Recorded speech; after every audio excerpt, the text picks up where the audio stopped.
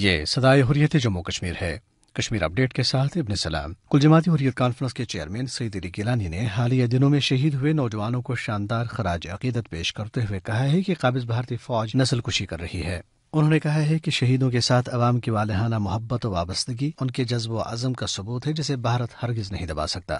اسلامی تنظیم آزادی جموں کشمیر کے محفوظ چیئرمین عبدالسمد انقلابی نے جیلوں میں نظر بند کشمیریوں کے ساتھ روا رکھے جا رہے غیر انسانی اور غیر اخلاقی سلوک کے خلاف بطور احتجاج تیئیس مارچ سے بھوک ہڑتال کرنے کا فیصلہ کر لیا ہے۔ کشمیر پریس کلب کے ایک وفد نے سری نگر میں پریس کاؤنسل آف انڈیا کی تین رکنی ٹیم کے ساتھ ملاقات میں اسے آگاہ کیا کہ پانچ اگست کے جارحانہ اقدام کے بعد کس طرح مقامی صحافیوں کو ہراسانی، طلبی، دھمکیوں اور سینسرشپ کا سامنا کرنا پڑا۔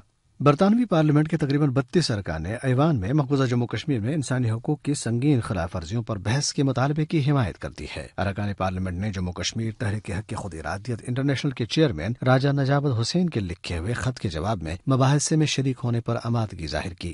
دنیا میں کرونا وائرس پھیلتا چلا جا رہا ہے اور حکومتیں اسے بچنے کی تدابیر کر رہی ہے جبکہ سوشل میڈیا پر بھی یہ مضمون چھایا ہوا ہے۔ کشمیر میں سوشل میڈیا کے صارفین اس موضوع کے ذیل میں اپنی پوسٹس اور کمنٹس میں دنیا کو یہ احساس دلانے کی کوشش کر رہے ہیں کہ لاک ڈاؤن میں رہنا کتنا مشکل ہوتا ہے اور یہ کہ موتیت بھی کرونا وائرس سے بڑھ کر ایک وائرس ہے، جس کے خلاف دنیا کو تدابیر کرنی چاہیے۔ اپڈیٹ ختم ہوا۔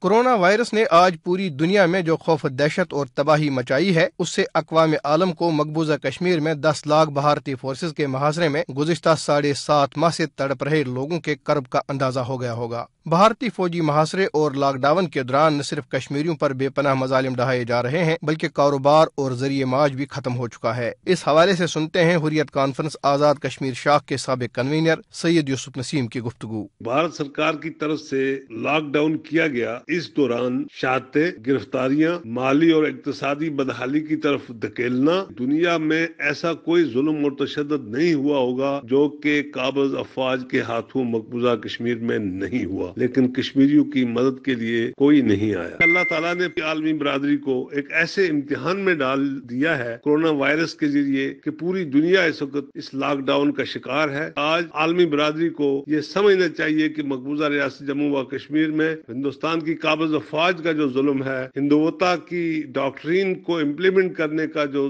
ظلم اور ستم وہاں ہے، اس سے کشمیریوں کو ازالہ کیسے دلوایا جائے؟ عالمی برادری کے ضمیر کا امتحان ہے کہ آج وہ محسوس کریں کہ یہ لاک ڈاؤن کیا ہوتا ہے اور پچھلے سات مہینے کشمیریوں نے کیسے گزارے؟ کورونا وائرس کی تباہی کا مشاہدہ کرنے والے لوگوں کو اب مقبوضہ کشمیر میں بھارتی ریاستی دہشت گردی اور ہندوتوا کے محیب سائے میں زندگی بسر کرنے والے بھارتی مسلمانوں کی عزت ناک زندگی کا اندازہ ہو گیا ہوگا۔